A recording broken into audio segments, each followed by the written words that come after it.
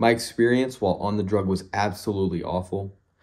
After taking the first dose, I felt emotionally blunted. I had severe sexual issues while on the drug.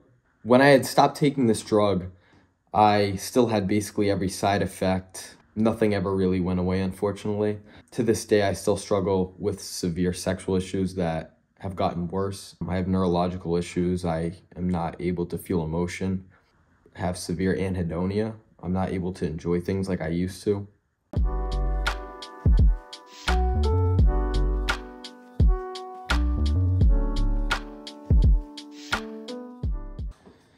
Hey everyone, my name is Grant. Um, I will be sharing my story with you guys today on how I developed PSSD, which is post SSRI sexual dysfunction. Uh, before I get started, I just want to thank Mark and Eric so much for everything they continue to do throughout our community. Uh, they've just done incredible work and, and they've saved so many lives. Um, and I'm grateful to them for that and, and, and allowing me to share my story on their platform today. My life before taking this drug was absolutely amazing. Uh, I loved every single moment. Um, I loved spending time with my family. Uh, I loved running my business, loved going to the gym and lifting. Um, and I still do all these things. I'm just not able to enjoy them. Um, and I also had just graduated college before taking this drug. I had started taking this drug. Um, the name of the drug is Lexapro.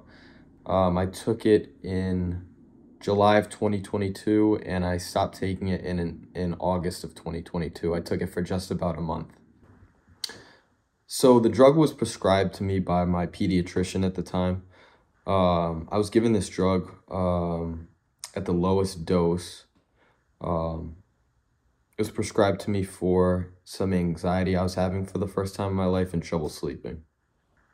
My experience while on the drug was absolutely awful. After taking the first dose, I felt emotionally blunted. Um, I was never warned of this symptom uh, whatsoever and I would have never taken the drug had I known this was a symptom. Um, so I felt emotionally blunted while on the drug. I had severe sexual issues while on the drug, which I wasn't warned of either.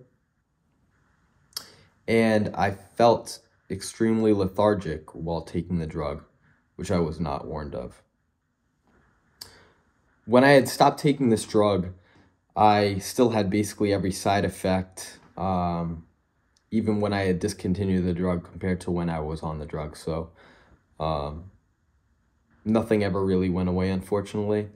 Um, to this day, I still struggle with severe sexual issues that have gotten worse, um, I believe. Um, I have genital numbness. I have no libido whatsoever, which uh, is which is the complete opposite compared to when um, before I had taken this drug, I had a very high libido. Um, neurologically, um, I have neurological issues. I am not able to feel emotion. Um, I'm incapable of feeling love for other people. Um, I have severe anhedonia. I'm not able to enjoy things like I used to. And these are by far the two worst symptoms are, in my opinion, are anhedonia and um, not being able to feel emotion. I've seen a couple doctors um, after I have developed this condition.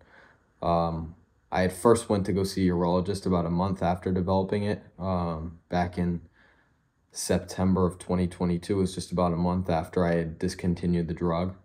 Um, the urologist had told me uh, to wait a little bit longer to see what happens because it, sometimes these these uh, side effects can take a little bit longer to go away. And now, about two years later, I have not seen a single improvement at all.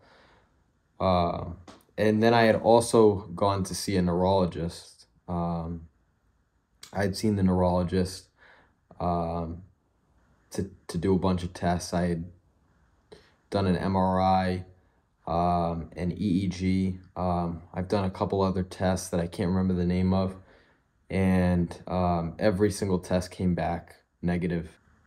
PSSD has truly impacted my life um, in a very negative way. Um, the first the thing that I can think of being relationships. Um, just not being able to connect with the people you love so much that you spent so much time with um, is just truly like devastating. Um, not being able to feel love for the people that you that you know you love them so much, but you just can't feel love for them is just extremely difficult.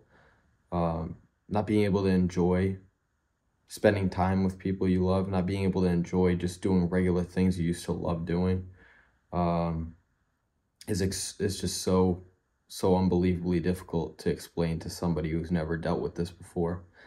Um, you know, I used to love to run my business. I still do that, even though I'm not able to enjoy it. I'm not able to enjoy lifting, um, but I still do that. I still do everything, everything every day that I normally would, even though I don't or I'm not able to enjoy it.